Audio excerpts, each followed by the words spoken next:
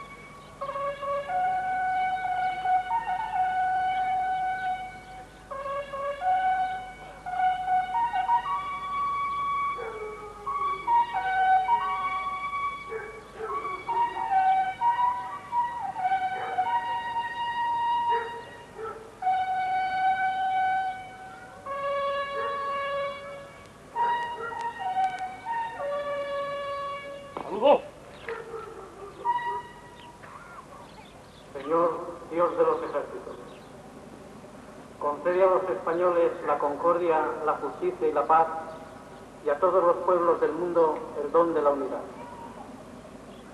Ante la imagen legionaria del Cristo de la Buena Muerte, que nos presenta el sufrimiento y la muerte como expresión máxima del cumplimiento del deber, el cuarto tercio de la legión renueva una vez más el compromiso de lealtad con nuestra patria.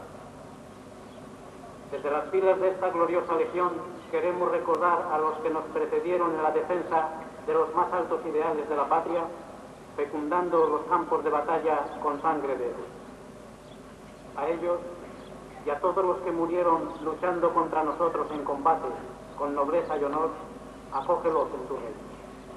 Señor, Dios de los ejércitos.